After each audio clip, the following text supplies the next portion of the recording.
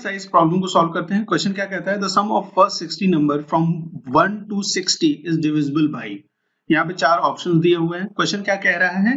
कि एक से लेके 60 तक के नंबर्स का सम कौन सी इन नंबर जो जैसे 13, 59, 60 और 61 दिया हुआ है इनमें से कौन सा ऐसा नंबर है जो इनके सम को कंप्लीटली डिवाइड करता है?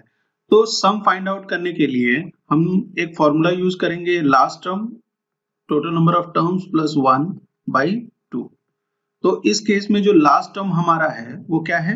सिक्सटी है। टोटल नंबर ऑफ़ टर्म्स कितने हैं? सिक्सटी है। तो ये वैल्यू यहाँ पुट कर देंगे।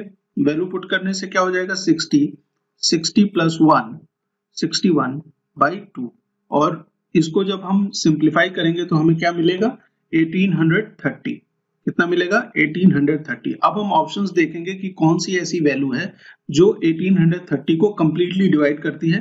तो आप पाएँगे कि 61 61 वो संख्या है जो इसको कंप्लीटली डिवाइड करेगी। ठीक है?